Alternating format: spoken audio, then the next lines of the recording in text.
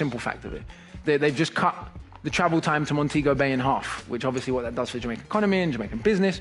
Is there a worry? Should there be suspicion? Yes, of course. It's a major international power. Jamaica's a small island. However, what was interesting talking to most of the Jamaicans I spoke to, in fact, all of them, even the ones that had a problem with the Chinese relationship there, when I said, what is it the Chinese are doing that American capital or British capital or French capital is not doing? What are the specific negative things that the Chinese are doing?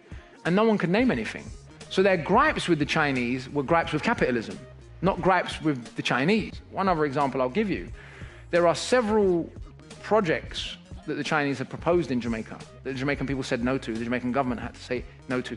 The Jamaican government then said no to the Chinese. What was the Chinese response? Was it to send the CIA in?